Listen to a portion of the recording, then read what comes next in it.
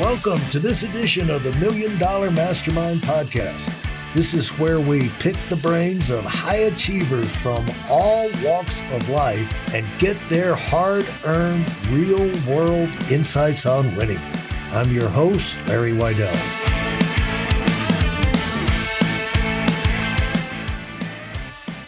We're talking with David Selinger. Hey, David, how are you doing? I'm doing very well. And you're talking today from what part of the universe? I live in East Bay, uh, Pleasanton, California.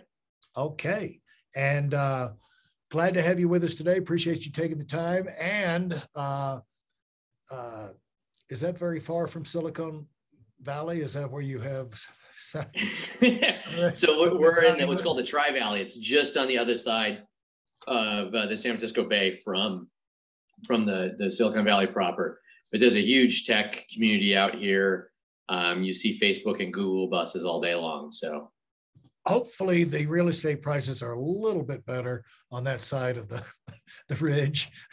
I would not go so far. They're maybe a little bit better, but uh, you know, it's been interesting as uh, as the pandemic set in. Actually, a lot of tech workers wanted to move and get outside of kind of the really constrained part of Silicon Valley and have slightly larger homes and kind of nicer right. neighborhoods. And so uh, we had this massive upsurge in real estate prices um, in, in, during the, the pandemic. Our, our neighborhood probably grew by about 75% uh, over the last two years in terms of value. It's a little bit what happened to destroy the, uh, the affordability of living in Montana everybody from California moved out there. we, we, tend to try to destroy everything we touch. I grew up in a little town in Oregon, and there was nothing worse you could say to another kid on the first day of school than I'm from California. and now you are one. uh, now I live here. I don't know about that, but yeah, yeah. I'm part of the problem, that's for sure. Yeah, and to the outside world, you're part of the problem. Anyway, uh, David, give me uh, uh, or let us let us all know uh, about your background and uh, which you you you've had a really uh, a really fortunate exposure to a lot of high powered growth and high powered people and high powered success. And so, talk about where that kicked off with you and uh, Amazon, Jeff Bezos, and, and that. Sure. Situation. Yeah. So, like I said, I grew up in a little town in Oregon. Uh, it's a town called Merlin. Uh, I mean, beautiful place to grow up, but uh, but there you go. And, uh, and and I still have lots of friends that live in that area. But then I got a chance to go to Stanford. I studied artificial intelligence there. My first big kind of well-known company that I worked at was Amazon. I ran the the applied artificial intelligence and machine learning division there uh, called Customer Behavior Research. I worked directly with Jeff uh, for much of my time there. Met with him almost on a weekly basis uh, for to get that department off the ground.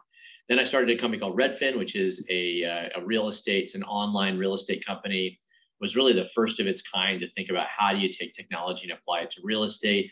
They're now a publicly traded company worth a, a few billion dollars. They do gosh, almost. Uh, I, I want to say the best estimate is around 100 billion dollars uh, in, uh, in, in real estate transactions. Their revenues are a little over one and a half to two billion dollars now. Um, and then I started a, another AI company called Rich Relevance, and we just sold that a few years ago. And then about five years ago, I started my current company, which is Deep Sentinel. And it's uh, again, I'm gonna sound like a broken record. It's artificial intelligence now applied to uh, security. And so we use artificial intelligence to protect people's businesses and homes. We just launched in 2019 and, and we're still pretty small, but we're just passing through about 10 million in revenue. And uh, let's talk about how do you pop out of Stanford and uh, your, uh, was it your specialty? You know, what, what caused you to get interested in artificial intelligence? Because I'm sure you're not talking around the campfire up there in Oregon about these subjects as as a young boy. Yeah, I, uh, I didn't uh, I didn't fit in super well uh, in in Southern Oregon for a bunch of different reasons. That that being among them for sure.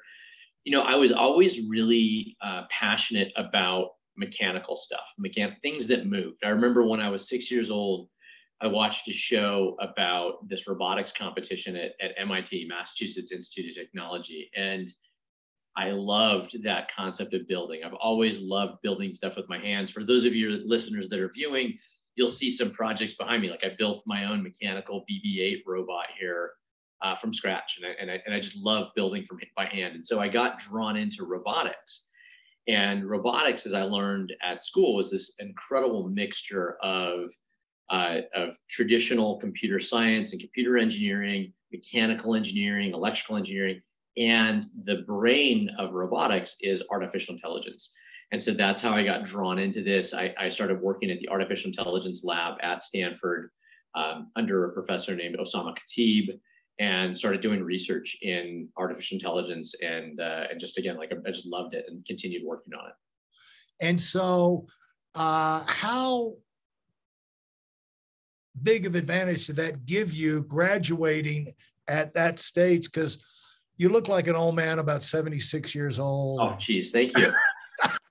I'm, I'm much older. but I mean, you, you didn't graduate from Stanford last year. So uh, when did you graduate? I graduated uh, class of 2000, and I graduated a couple years later because I dropped out to be at at uh, dot com startups.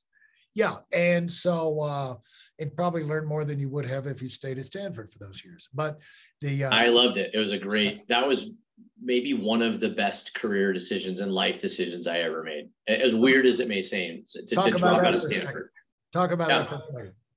Yeah, I mean, you know, I I um I was very immature emotionally when I got to school, uh, right. and and I was very bright. Uh, I had I'd really kind of proven my capability intellectually, and that was massively not at par with my emotional um, uh, capability, my EQ.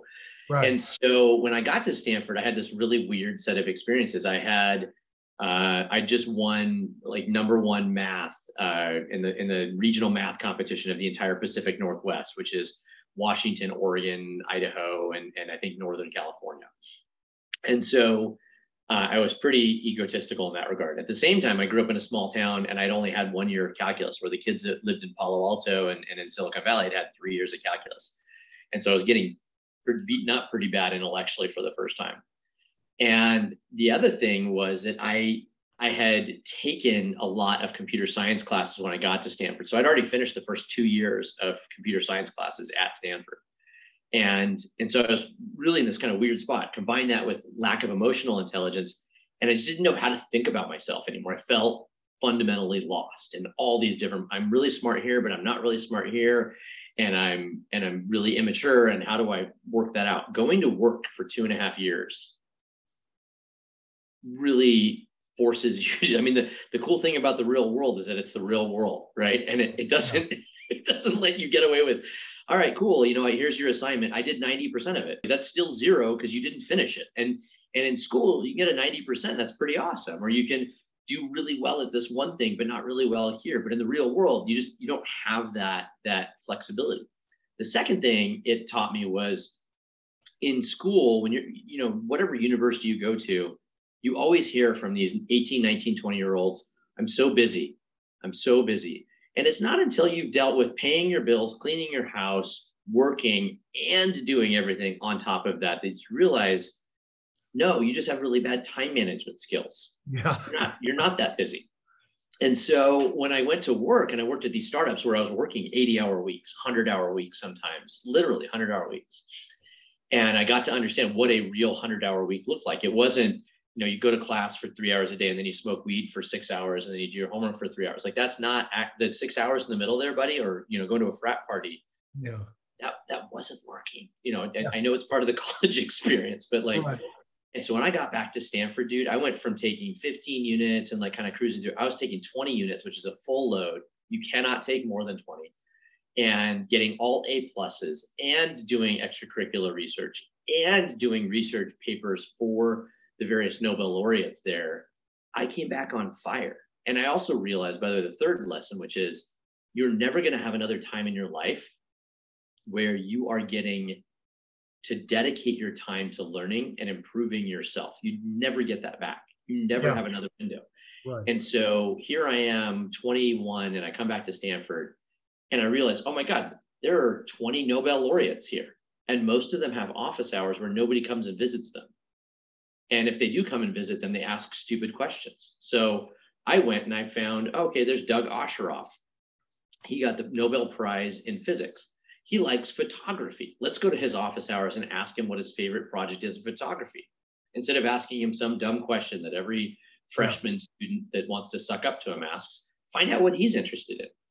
And yeah. you know what? I got I got six hours of Doug Osheroff talking about photography and how physics and the physics of light and photons work with photography. So again, long answer to a short question, but amazing experience. Yeah, and uh, uh, you but you went back. The thing was that you didn't uh, do the mistake that so many college students do is just they just drop out. Yep. Go on drugs. Don't you know? Just drift. They drop out and drift. But you dropped out and went work to work. And I, I, dropped out to go to work. In fact, like I didn't just drop out to drop out. I dropped out. I found opportunities. I found I was much more passionate about work than I was about like what's this school thing anymore. Yeah, yeah, and the emotional uh, stability, maturity, or whatever. I mean, you see things like Michael Phelps, like one of the athletes of all time, go in and win all of these medals, and uh, uh, the Olympics and then come back and turn into a pothead that gets drunk and parties in Miami and just totally debases himself.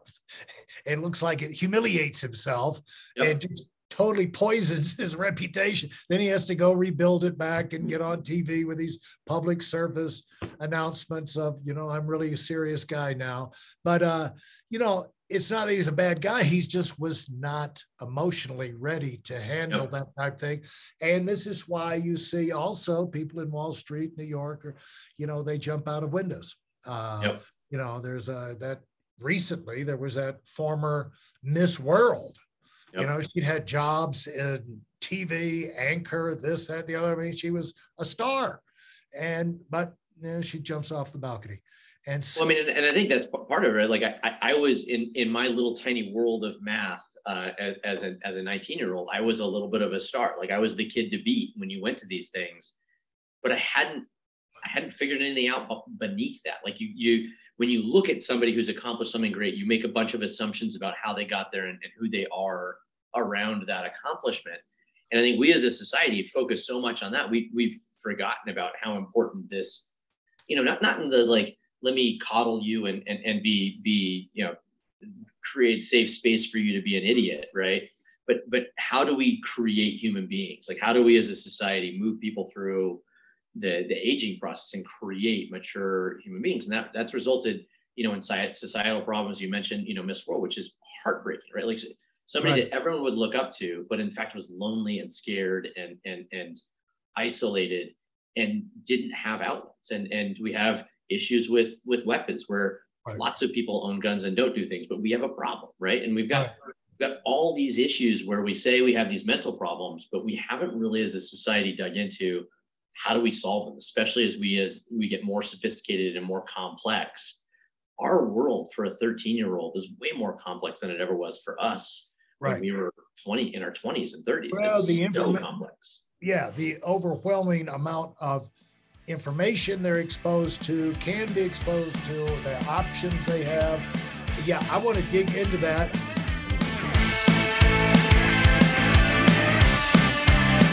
Thanks for listening to the Million Dollar Mastermind.